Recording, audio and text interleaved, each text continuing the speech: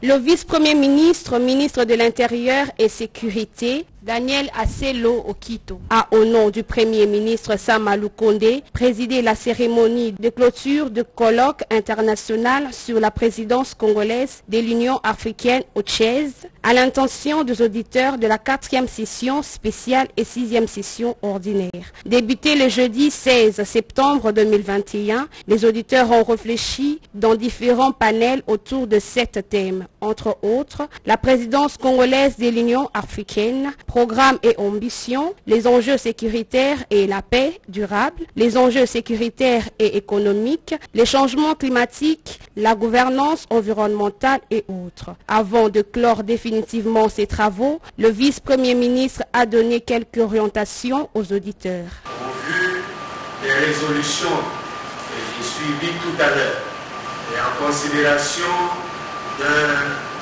toutes les personnalités scientifiques le professeur Maloua Balomo en face de moi, au nom du Premier ministre, j'imagine que les échanges que vous avez eus pendant ces deux jours ont été très enrichissants pour la République démocratique du Congo et pour tous les pays intéressés par la chose.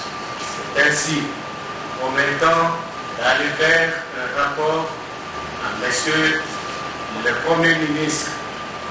Je me dois de déclarer clos les colloques internationaux du Collège des hautes études de stratégie et de défense que vous venez d'avoir sous le thème la présidence congolaise de l'Union africaine et je vous remercie. Le président de panel, le professeur Toumba Loaba, a expliqué ici le déroulement de ces travaux et a appelé à une autre séance pour évaluer la deuxième partie de la présidence congolaise à l'Union de l'Union africaine. Le rapporteur de ces colloques a pour sa part fait l'économie de ces travaux scientifiques et a donné quelques orientations. Le collège de haute études de stratégie de défense, par le truchement du département d'études doctrinales, de recherche stratégique, pendant deux jours consécutifs, aménagé une piscine, oui, une piscine de réflexion où les différents intervenants, comparables à des véritables maîtres nageurs, ont pour une fois de plus consolidé nos biceps intellectuels dans un exercice de natation scientifique de haute facture sur la présidence RDCL de l'Union africaine. Tout enjeu d'étude commence par une question de recherche. Le thème sous examen est parti d'une question spécifique de recherche, à savoir que signifie présider l'Union africaine. À cette question pivotante du colloque, l'approche holistique axée sur la pluridisciplinarité nous a servi de cadre méthodologique, appuyé par des techniques d'exposé et d'échange entre les intervenants et l'auditoire, à l'issue de ces interventions et de ces échanges tendus, quelques hypothèses ont été retenues, à savoir présider l'Union africaine consiste à la capacité du pays président de conjuguer les actions diplomatiques à la hauteur et au service du continent, d'une part, et de définir, d'autre part, les capacités d'action susceptibles de faire face aux diverses formes d'insécurité. Il s'agit de l'insécurité écologique, économique, sanitaire, civile et politique qui pèse sur la région. De tout ce qui précède, trois recommandations peuvent être prises en compte pour une présidence de l'UA réaliste. militer pour un basculement de l'organisation internationale vers l'union véritable. Redéfinir le concept des souverainetés des États africains en incluant les dimensions, les variables propices à la matérialisation de l'agenda 2060. Tertio, pour finir, toujours, alors toujours placer le peuple africain au cœur de la réflexion de l'UNA. C'est sur cette note des recommandations émanant des différentes communications de nos éminents que nous bouclons ce café scientifique. J'ai dit et je vous remercie.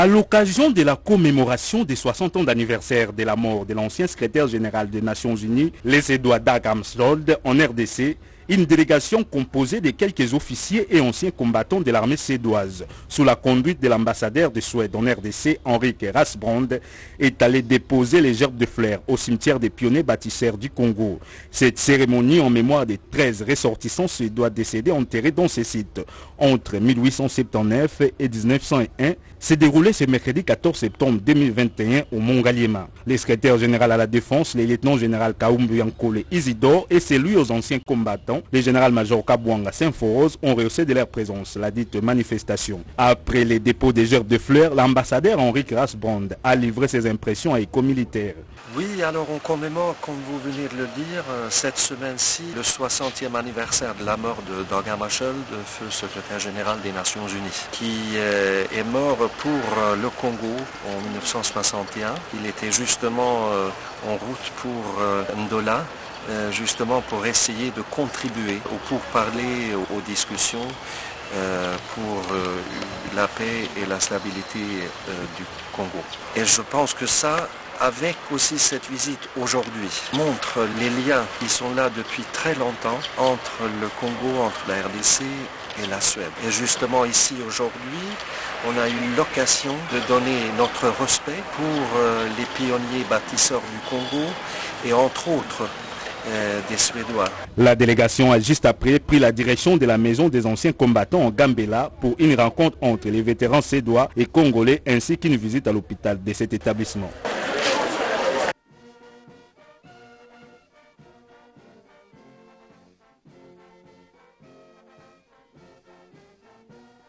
La situation sécuritaire préoccupante qui prévaut dans la chefferie des Bachou en territoire de Beni et particulièrement la dernière attaque des villages Moutendero Kilaou a fait l'objet d'un point de presse animé ce lundi 20 septembre 2021 en ville de Beni par les porte-parole du gouverneur du Nord Kivu, le général de brigade Sylvain Ekenge. D'après le conseiller principal du gouverneur en charge des communications, il est difficile à l'heure actuelle de dire avec précision les auteurs des récentes attaques perpétrées à Moutendero Kilaou dans la région de Issalé, en territoire de Béni. Néanmoins, les premiers indices prouvent qu'il s'agirait d'un règlement des comptes entre deux lignées issues de la famille coutumière de la chefferie des Bachou. Le général Sylvain Ekenge souligne que le mode opératoire des assaillants était différent de celui des ADF, ce qui laisse croire qu'il s'agirait des Maïmaï. Il ajoute que les instructions du gouverneur Constant Dima sont claires à ce sujet, c'est entre autres la sécurisation à tout prix des populations par les services spécialisés. Son Excellence, Monsieur le gouverneur militaire de la province du Nord Kivu, a instruit le commandant du secteur opérationnel Soukola un Grand Nord pour que des dispositions suivantes soient de stricte application. Première disposition, la poursuite des investigations pour déterminer les responsabilités de cette tuerie, mettre la main sur les coupables et les traduire en justice. Deuxième disposition, procéder au redéploiement des FARDC dans le Bachou pour traquer les groupes armés et nettoyer les poches résiduaires des terroristes ADF-MTM chassés de Moalika jusque dans leur dernier retranchement. Troisième disposition, sécuriser et protéger à tout prix les populations agricoles de la chefferie de Bachou en vue de leur permettre d'évacuer librement à leurs activités et d'accéder à leurs champs. Les porte-parole du gouverneur militaire demandent aussi à toute la population de Béni de soutenir les forces de sécurité, à sensibiliser les forces négatives à quitter la brousse. Signalons que cette communication a été faite en présence des deux autres conseillers principaux du gouverneur du Nord Kivu, à savoir les généraux Yang Badani et Mayala Sylvain.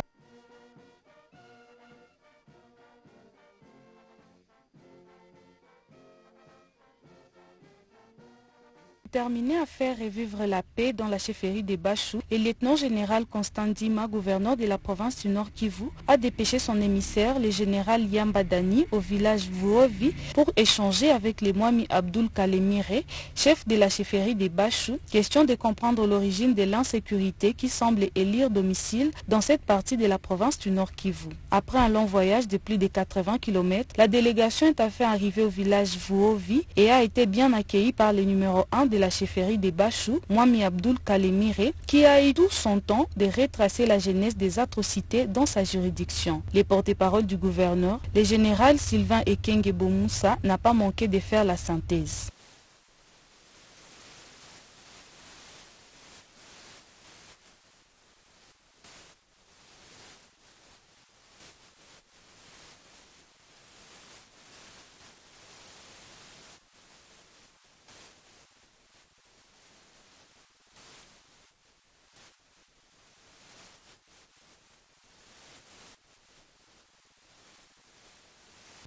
Éclairée, la délégation est allée au village Boulambo, là où six personnes qui assistaient au deuil ont été tuées par un groupe de Maï à main armée.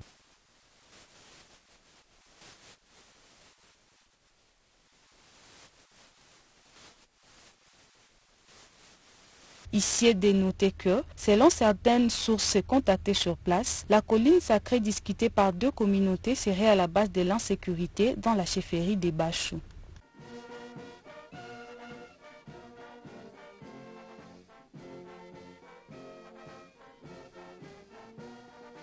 Loukweti, quartier général du groupe armé AP Céleste de Janvier Kalaïri, situé à plus ou moins 55 km au nord-ouest de Massissi Centre, est désormais sous contrôle des forces armées de la République démocratique du Congo après une offensive de grande envergure menée par les forces armées de la République démocratique du Congo contre ce groupe armé le mercredi 15 septembre, nous dit le colonel Njike Kaiko Guillaume, porte-parole de l'armée à province. Le secteur opérationnel Nord Sukola 2 informe la reprise de la cité de Lukweti, considérée autrefois comme quartier général du groupe armé AP Céleste de Janvier Karaïre, une cité située à plus ou moins 55 km au nord-ouest de Massissi Centre, et ce, après des opérations de grande envergure menées par les forces armées de la République démocratique du Congo contre ces groupes armés dans la nuit du mercredi 15 au jeudi 16.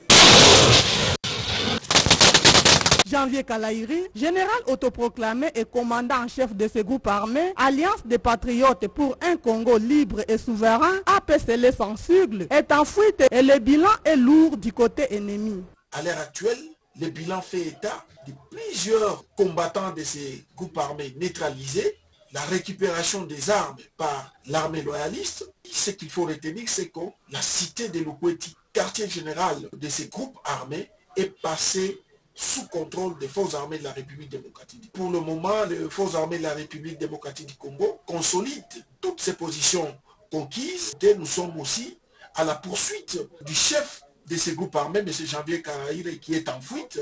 Nous sommes en train de les poursuivre dans son dernier retranchement. Notons que ces opérations menées par le secteur opérationnel Nord Kivu Sokola D d'une manière professionnelle et dans le respect strict des règles d'engagement et du droit international humanitaire s'inscrivent dans le cadre de l'état de siège décrété par le commandant suprême chef de l'État, M. Félix Antoine Tshisekedi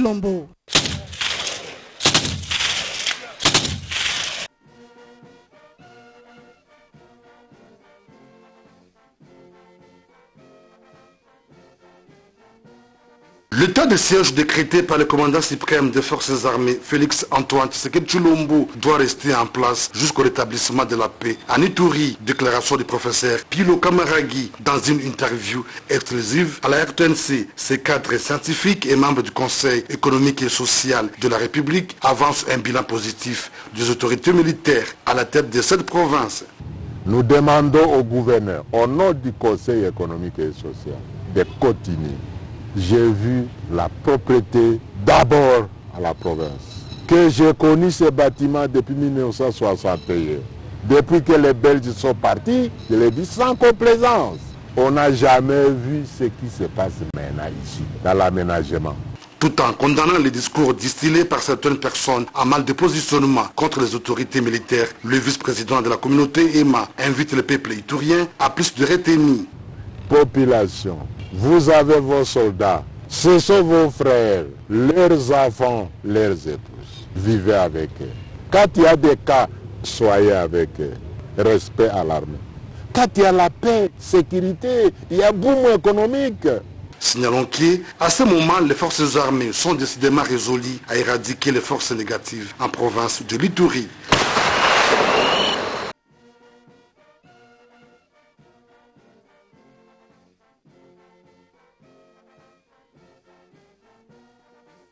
Le secteur minier doit contribuer au développement de la province de l'Itourie, respecter les cahiers de charge de la population et protéger l'écosystème par les coopératives minières en rendant compte leurs activités. C'est la nouvelle approche du chef de l'État, Félix Antoine Segel Chulombo, imprimée par le gouverneur militaire de l'Itourie au cours d'un échange avec les responsables de ces coopératives minières et des expatriés chinois. Pour le lieutenant général Luboyan Kachama Johnny, l'air est arrivé où les exploitations illicites, le trafic d'influence doivent cesser deux à présent pour que leurs produits dans cette partie de la République démocratique du Congo soient source de bénédiction et non d'insécurité. Nous devons changer. Si on ne change pas, en tout cas, on ne saura pas évoluer. Vous allez travailler avec la division de mines pour que chacun puisse régulariser sa situation. Séance tenante, l'autorité provinciale a décidé de mettre en place une commission de vérification des documents de ces coopératives. Chabani Kimariki, chef de division de mines à Ituri, parle de sa mission. Une commission, comme l'autorité a dit, doit être active pour détecter selon les yeux et les attributions de chaque service. Il y a des situations qui concernent uniquement l'armée, où l'administration des mines ne pourra pas agir. Il y a des situations qui concernent uniquement les services de renseignement où le service des mines ne peut pas agir. Et il y a des questions qui concernent uniquement les mines et que les autres services ne peuvent pas s'y mixer. À en croire les parlementaires de l'Itourie, le droit de siège en Itourie est une opportunité pour recadrer la province sur tous les domaines pour son développement.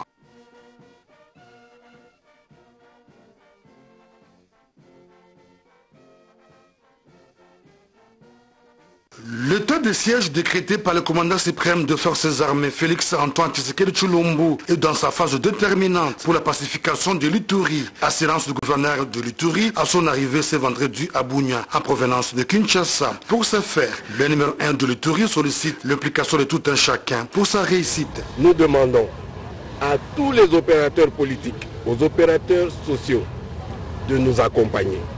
Parce que sinon, on aura de sérieux problèmes. C'est une phase très critique où tout le monde doit être ensemble parce que la population nous fait déjà confiance. Mais c'est plus les opérateurs politiques et les opérateurs sociaux et ainsi de suite. Nous avons nos enfants maintenant en face de nous. Et ça, je le répète, à eux maintenant de nous accompagner. Je crois que vous avez compris le message. Parlons de l'exploitation illicite des minéraux par certains sujets chinois sans permis d'exploitation. Le lieutenant général Luboyan Kachoma Johnny promet remettre de l'ordre dans ce secteur. Maintenant que je reviens tout de suite là, je vais rencontrer, je fais le comité provincial de sécurité et je vais rencontrer les miniers. Je crois qu'ils euh, ont aussi vu le holà, ils ont compris le holà de la population. On ne peut pas être là exploité au détriment de la population. On ne respecte aucun cahier de charge. On ne respecte rien du tout. Et euh, à eux maintenant de, revenir à la raison. Nous sommes un pays et nous avons des lois. Il y a l'impôt, il y a les taxes à payer. Il faut que cette population en profite. Signalons que l'état de siège a été prorogé pour la huitième fois à l'issue d'un vote à l'Assemblée nationale où les résultats en Itourie sont de plus en plus probants.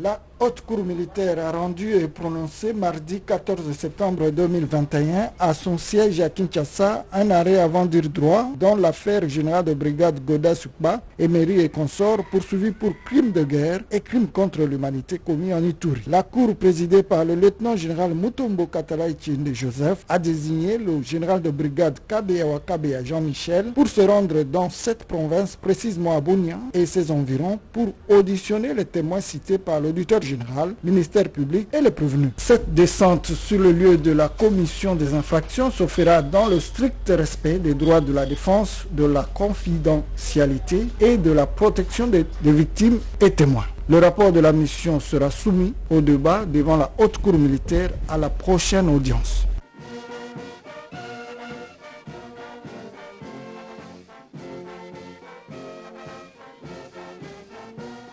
Le commissaire supérieur Lokesu Karim a été entendu lundi 6 septembre 2021 par la cour militaire de Kinshasa Matete à la prison militaire d'Indolo dans l'affaire du meurtre de Rossi Mukendi Chimanga. Son audition a porté sur la prévention des violations des consignes mises à sa charge par l'auditeur militaire supérieur, ministère public. Pour l'organe poursuivant, la prévenue Lokesu a violé la consigne de la hiérarchie interdisant l'utilisation des munitions létales pour encadrer la manifestation organisée le 25 février 2018 par le comité laïque de coordination dans la commune de Lemba. Le ministère public s'est basé sur le procès verbal de l'un des gardes du corps de Karine accusé d'avoir tiré sur Rossi Mukendi à balles réelles au cours de cette manifestation. La cour militaire de Kinshasa Matete présidée par le colonel magistrat Koufi Manzila José a décidé de faire comparaître le présumé meurtrier à l'audience du lundi 13 septembre 2021 pour une confrontation.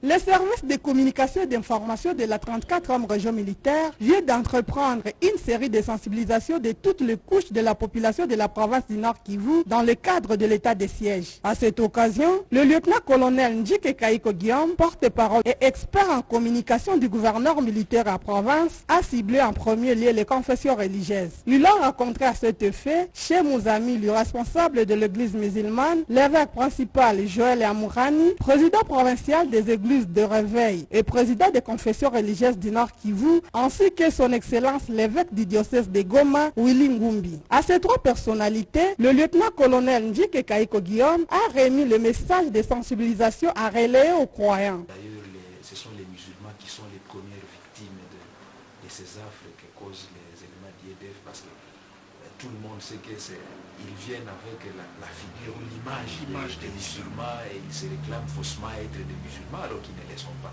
Nous avons le devoir de l'accompagner parce qu'il y va de notre intérêt aussi que l'état de siège puisse réussir. Donc nous sommes prêts vraiment à accompagner le chef de l'État et soutenir beaucoup plus nos FARDC pour qu'ils puissent aller de l'avant. S'il faut même que les fidèles musulmans puissent assister les militaires matériellement, financièrement, nous sommes prêts à le faire et sensibiliser les musulmans pour que nous puissions aboutir à l'objectif. Nous, en tant qu'Église du réveil du Congo, RC en nous sommes pour l'état de siège décrété par notre chef de l'État, son Excellence euh, Félix Tshisekedi, le président de la République.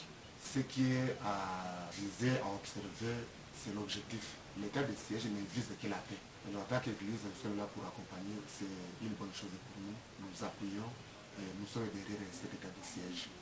Pour le colonel Njike Kaiko Guillaume, cette démarche s'inscrit dans le cadre de sensibiliser toutes les couches de la population du Nord Kivu afin de les faire participer à l'état de siège car la paix est une affaire de tous. Dans le cadre de l'état de siège décrété par le commandant suprême des forces armées de la République démocratique du Congo et chef de l'État, M. Félix Antoine Tshisekedi Chilombo, nous en tant que service de communication et d'information des forces armées, nous avons aussi comme attribution pour mener à bien l'état de siège la sensibilisation.